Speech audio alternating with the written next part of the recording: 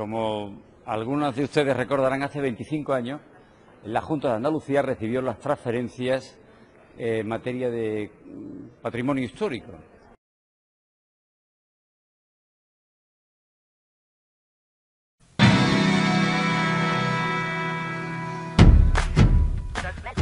Centro Comercial La Verónica. Situado en Antequera, en el corazón de Andalucía, con una superficie de 45.000 metros cuadrados, el Centro Comercial La Verónica le ofrece más de 60 tiendas, restaurantes, zona de esparcimiento para los más pequeños y de ocio, cine, hipermercado Eroski, gasolinera, cercano, cómodo y con gran facilidad de aparcamiento en sus tres plantas. Todo esto y mucho más lo encontrará en el Centro Comercial La Verónica, encuesta de Talavera sin número Antequera, teléfono 952 70 40 07, página web www cclaverónica.com Centro Comercial La Verónica, el centro comercial de Antequera y su comarca.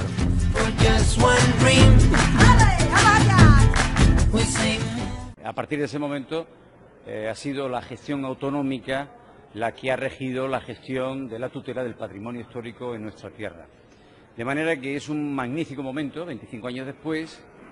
eh, la celebración de este Congreso pretende aprovechar esta oportunidad, este momento, para reflexionar acerca del trabajo que se ha realizado durante estos 25 años. Ha habido un cambio muy profundo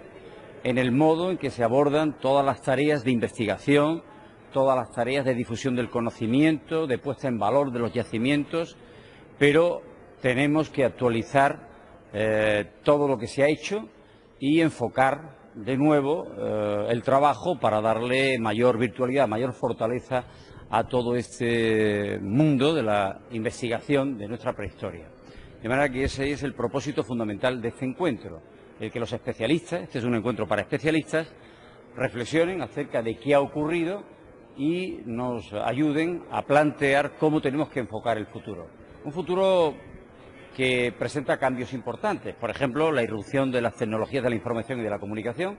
En este mundo ofrecen muchísimas oportunidades para el intercambio de experiencia, para el intercambio de conocimiento entre los especialistas que han realizado tareas de investigación en diferentes puntos, en diferentes lugares, y también ofrecen muchísimas oportunidades para difundir ese conocimiento al conjunto de la sociedad, para que sea el conjunto de la sociedad quien plantee también qué interés pueden sacarse, puede obtenerse de estos trabajos científicos y técnicos que se hacen en relación con el patrimonio, eh, en este caso prehistórico. Andalucía, por otra parte, es un lugar que presenta muchísimos asentamientos, una tierra poblada eh, de manera muy temprana. El otro día, por ejemplo, en Orce tuvimos oportunidad de conocer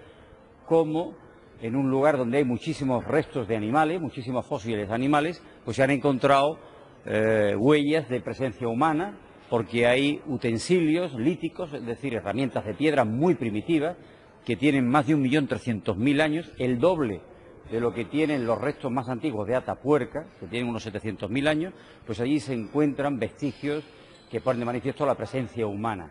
Bueno, pues desde ese, que es el primer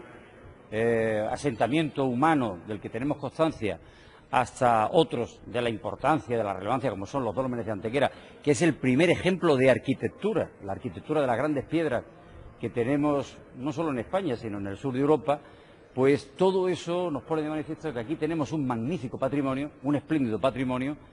que no tiene solo que servir para mejorar el conocimiento de los especialistas, sino que también tiene que contribuir a mejorar nuestra economía, porque todo esto es motivo de curiosidad por parte de los ciudadanos y puede ser, pues, pueden ser elementos claves en el desarrollo de la actividad turística que tanta importancia tiene en el conjunto de nuestra economía. Bueno, estas son algunas de las cuestiones que se van a barajar aquí durante estos días de un congreso que pretende ser el primero, el primero, perdón, de una serie de encuentros que se van a celebrar aquí en Antequera cada dos años. Pretendemos ya institucionalizar este encuentro y que cada dos años aquí en Antequera, que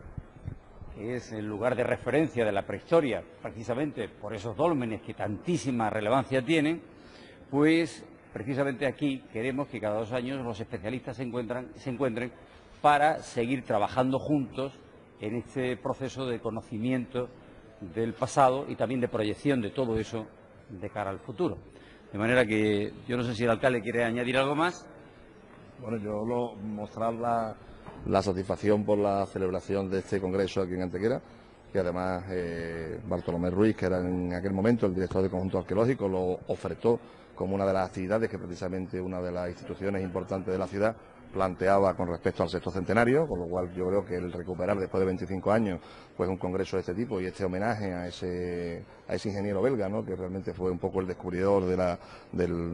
que le dio importancia al tema de la prehistoria en Andalucía, yo creo que el celebrarlo en Antequera y como ha comentado el consejero, el Instituto Residencial, de forma que cada dos años tengamos un congreso en que se estudie, se piense y se reflexione sobre lo que es la prehistoria en Andalucía y la puesta en valor precisamente de su yacimiento, por supuesto para Antequera es tremendamente importante y agradecemos a la Consejería de Cultura que como siempre tenga Antequera en su, en su mira.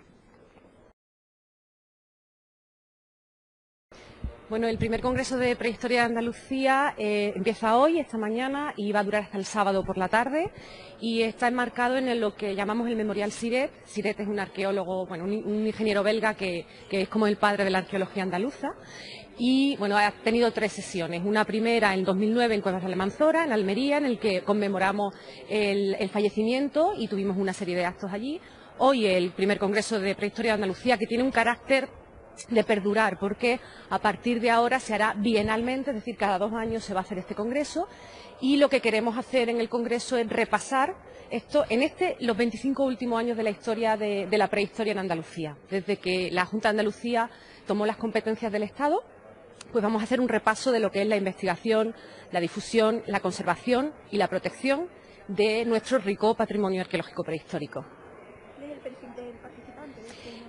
Es muy diverso, es muy diverso, pero dentro de lo que es la propia profesión de la arqueología. Es decir, eh, son profesores universitarios, profesoras universitarias, eh,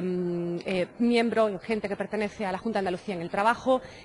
arqueólogos que ejercen la profesión libremente, estudiantes, estudiantes de máster, es decir, todo el mundo que esté relacionado con esto, porque lo que, se, lo que, se interesa, lo que interesa sobre todo es crear un foro de debate fuera de debate porque lo que queremos desde la Junta de Andalucía es que se creen nuevas propuestas, nuevos elementos para que eh, la prehistoria de Andalucía siga teniendo esa, esa, esa viveza durante los próximos 25 años.